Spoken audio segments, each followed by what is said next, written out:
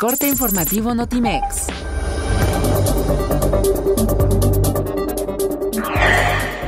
El titular de la Secretaría de Gobernación, Miguel Ángel Osorio Chong, subrayó que atender el tema de la prevención y restaurar el tejido social es una prioridad para el gobierno de la República, pues de no hacerlo los delitos podrían incrementarse. La Corte Suprema de Estados Unidos decidió que los abuelos de inmigrantes no tendrán prohibida la entrada al país en un nuevo revés para la administración de Donald Trump. La Secretaría de Economía dio a conocer que la primera ronda de negociaciones para la modernización del Tratado de Libre Comercio de América del Norte se llevará a cabo del 16 al 20 de agosto de 2017 en Washington, D.C. Lestat Manelik Martínez López logró la puntuación perfecta en el examen de ingreso a la licenciatura de la Universidad Nacional Autónoma de México, 120 aciertos.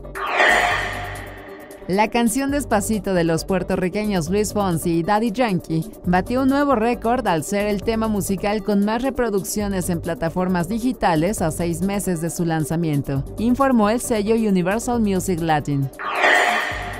Un autogol de Aníbal Godoy abrió la puerta de la ronda semifinal de la Copa Oro de la CONCACAF a la selección de Costa Rica, la cual se impuso por 1 a 0 a la de Panamá. El arqueólogo mexicano Eduardo Matos Moctezuma impartió la conferencia magistral Grandes Tumbas del Pasado, como parte de la decimocuarta Feria Internacional del Libro de Guatemala, Filgua 2017, que se efectúa desde el 13 de julio. Comunicación Global.